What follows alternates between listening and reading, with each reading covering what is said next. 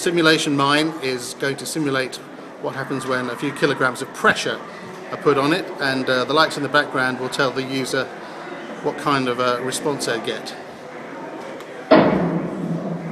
Not a very good one. The idea with this device is that rather than actually leaning forward over the mine itself or where the potential reading is coming from, you sit back, have a device that's basically shielded. Part of that is to basically cause you to not reach over it. It's partly psychological, partly protection.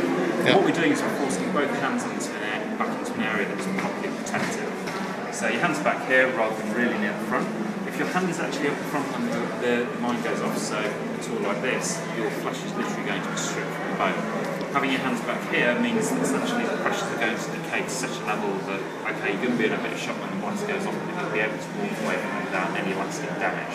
What you do is you scan the ground with a metal detector, and when you found reading, basically what you do is you put down a little marker. Um, ultimately, the first thing that you do is what you want to do is try and find out whether there's a solid mass behind the area that you're actually sort of looking at. So what you do is you use the probe, go in, and basically as soon as you start to actually feel a solid mass, what you do is you switch your tool out, put one with a solid head, and ultimately what you want to do is start carefully moving of until you've actually found a mine in the ground.